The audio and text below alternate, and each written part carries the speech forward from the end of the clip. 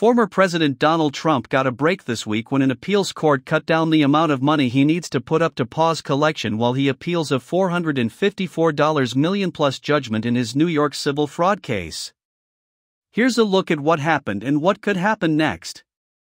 Let's see what's the judgment. How did we get here? The judgment reflects the $355 million, plus interest in growing daily, that State Judge Arthur Engoron ordered Trump to pay after a months long trial. The trial stemmed from a lawsuit brought by State Attorney General Letitia James. She claimed that Trump, his company, and key executives engaged in fraud by pumping up the tycoon turned politician's fortune on financial statements that helped secure loans and insurance. Trump, now once again the presumptive Republican presidential nominee, denied the allegations, as did his co defendants. The defense said bankers and insurers used the unaudited statements only to inform their own assessments of Trump's finances, rather than basing business decisions on them. He says the documents understated his wealth, anyway. Let's see what did the appeals court do. A five judge panel of appeals judges agreed Monday to put the collection on hold if Trump puts up $175 million within 10 days. It was a considerable reprieve, especially given that one of the judges had turned down Trump's earlier offer of a $100 million bond. Under New York law, someone can hold off enforcement of a judgment during an appeal by posting a bond, essentially, a guarantee that the money will be paid if the appeal fails or otherwise covering the amount owed. The idea is to ensure that people who have won judgments will be able to collect if they're upheld. Usually, that means the whole amount, but appeals courts can consider whether debtors would suffer an irreparable loss if they covered the judgment but later won their appeals, explains Jay Auslander, a New York lawyer who specializes in collecting big judgments. Trump, for example, suggested on social media last week that he'd have to sell or mortgage properties, perhaps at fire sale prices, and if and when I win the appeal, they would be gone.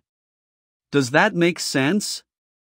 His lawyer said he was unable to arrange a bond for the full $454 million plus. They said potential underwriters were requiring 120% of the judgment, or over $557 million, in collateral and would take only cash or other liquid assets, not real estate. The Trump Organization's top lawyer, Alan Garten, said in a sworn statement that posting the full amount could affect the company's ability to retain employees, meet obligations, and otherwise sustain its business. Trump, meanwhile, said on his Truth Social platform that he has almost $500 million in cash but wants the option of spending some on his campaign. James' office, meanwhile, had filed notice of the judgment, a technical step toward potentially moving to collect. Let's see what does Trump plan to do now. Shortly after learning of the appeals court's decision, Trump said he would swiftly come up with a bond, equivalent securities, or cash. Various companies offer appeals bonds for a fee. They typically also require collateral. The bonding company is not going to put up a bond unless they're assured that they're going to get paid back if they have to pay, says Gregory Germain, a Syracuse University College of Law professor whose focuses include commercial law and bankruptcy.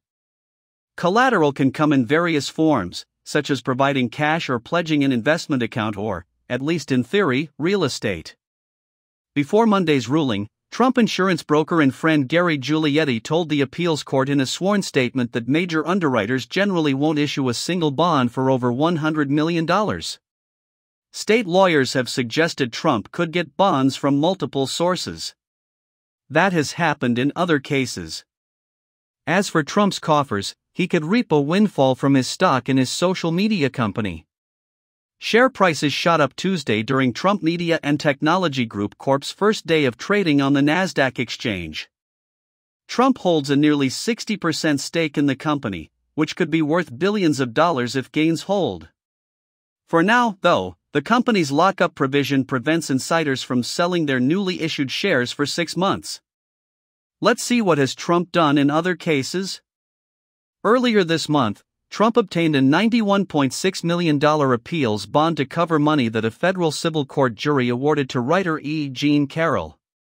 She alleges that Trump sexually assaulted her in the 1990s and then defamed her when she publicly accused him in 2019.